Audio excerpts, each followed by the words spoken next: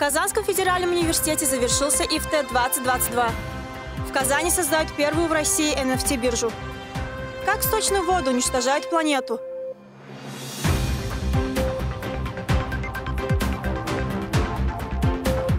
Всем привет! В эфире «Универ а в студии Сабина Хасанова. В Казанском федеральном университете состоялось заседание ученого совета. Традиционное мероприятие началось с вручения грамот и наград преподавателям из рук исполняющего обязанности ректора Дмитрия Таюрского. Следом за этим члены ученого совета обсудили более будничные вопросы, которые касались учебного процесса и политического настроения студентов. Это есть наша необходимость э, движения по реализации нашей программы стратегического лидера «Приоритет 2030».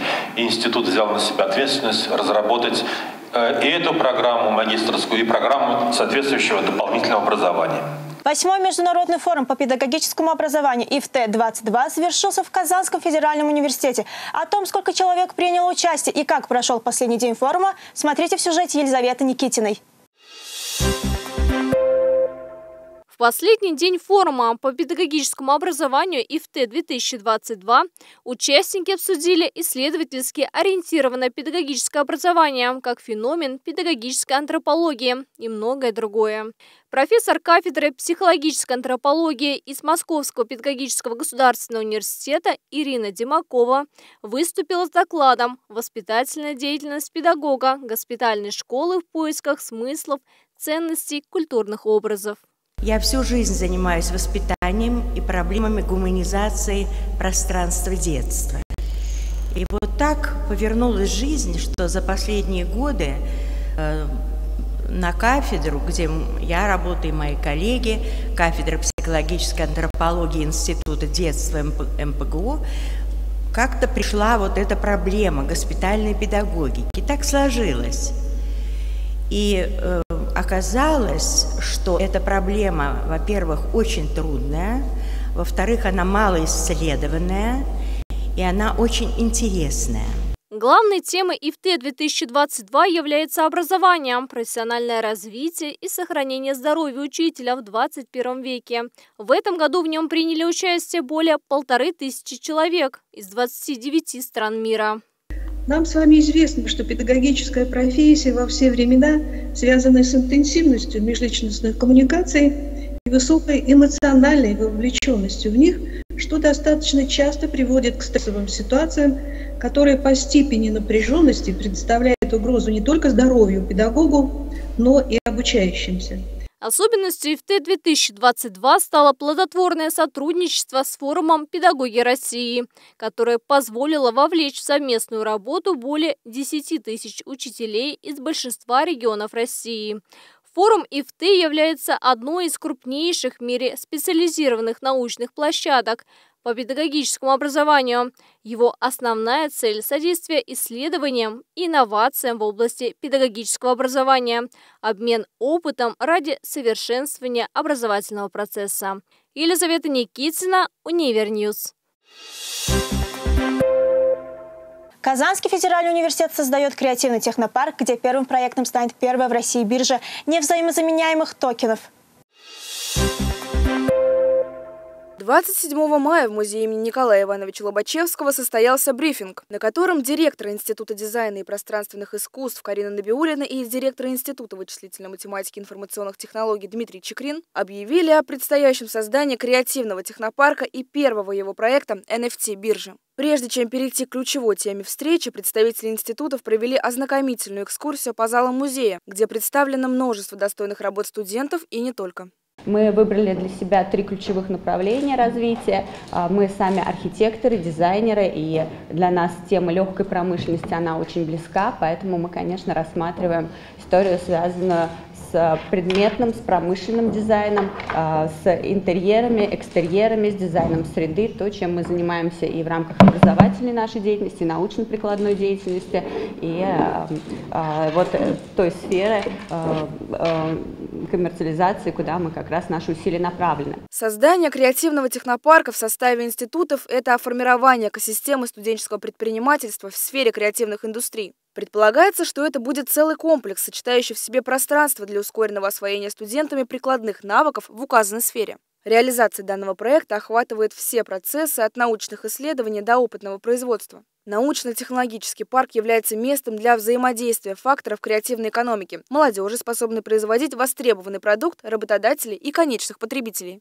Такой масштабный проект, как креативный технопарк, он, конечно, не может родиться просто так, не имея большого потенциала. Это кадровый потенциал, это высококвалифицированные специалисты, инженеры, архитекторы, дизайнеры, это IT-специалисты, которые э, сегодня составляют очень э, важную часть как раз для творческого человека человека. Параллельно с обнародованием деталей будущего научно-производственного комплекса представители координирующих институтов рассказали о том, что NFT-биржа является первым стартапом креативного технопарка. Важно упомянуть, что данная NFT-биржа, базирующаяся в Казанском федеральном университете, первая реализуемая в России. На данный момент все остальные за рубежом. Мы делаем биржу, а, в рамках которой будет вот каталог таких вот оцифрованных предметов искусства, чтобы их мог купить любой человек и сказать, вот эта картина в цифровой форме, например, успешный выпускник Казанского федерального, принадлежит мне. Я имею право экспонировать на экране с моего смартфона. Это мой предмет искусства. Здесь вся его история вы можете прочитать. Вот что такое NFT.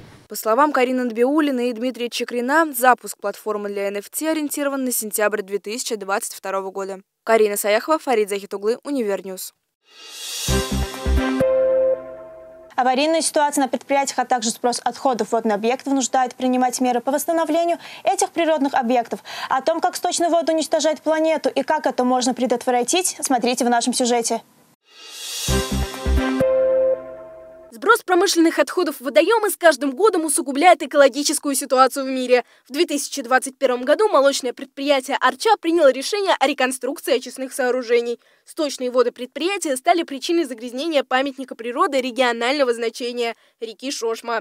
Для проведения эффективной работы к комплексному исследованию были привлечены ученые Казанского федерального университета. Вот мы когда стали работать, мы обратили внимание, что сточные воды предприятия у Арча и так являются не самыми загрязненными сравнению со многими предприятиями, потому что видно, что они проходят а, механическую и физико-химическую очистку. Ученые отметили, река была загрязнена еще до введения молочного предприятия в эксплуатацию. Среди основных источников числятся сточные воды из райцентра Балтаси и выбросы других предприятий. Есть как бы общие подходы вообще к очистке сточных вод любых предприятий, которые бы ни были. Но для каждого предприятия есть своя специфика, и поэтому учитывая, что предприятия молочной промышленности, они являются вообще-то обычно серьезным загрязнителем окружающей среды, значит, здесь надо всегда внимательно смотреть, как идет очистка сточных вод. Для проведения анализа была привлечена аккредитованная лаборатория. Исследования химического состава вод проводились два раза – в августе и октябре 2021 года. После проведения анализа первого образца воды эксперты лаборатории Казанского федерального университета дали предприятию Арча рекомендации по подбору оборудования и очистке воды. За несколько месяцев была проведена колоссальная работа. Второй анализ выявил, установка дополнительного оборудования по очистке сточных вод помогла снизить общий уровень загрязнения реки Шошма. Маргарита Михайлова, Александр Кузнецов, Univer News. Казанский федеральный университет проводит лично-командный турнир среди преподавателей и сотрудников по стрельбе из пневматического оружия. В цель попадала Аделина Абдрахманова. В стенах Казанского федерального университета прошел лично-командный турнир по стрельбе из пневматического оружия. Казанский федеральный университет проводит первый в своей истории турнир для преподавателей и сотрудников университета по стендовой стрельбе. По регламенту стрельба выполняется из положения стоя из пневматической винтовки. Дистанция выстрела 10 метров. Задача классическая – за 5 выстрелов набрать большее количество очков, попав в бумажную мишень. Турнир – это по стендовой стрельбе проводится впервые для сотрудников и э, э, преподавателей. Надеемся, что это будет понравиться нашим работникам, и мы в дальнейшем будем это проводить всегда. Эти соревнования проходят в рамках программы оздоровления работников КФУ.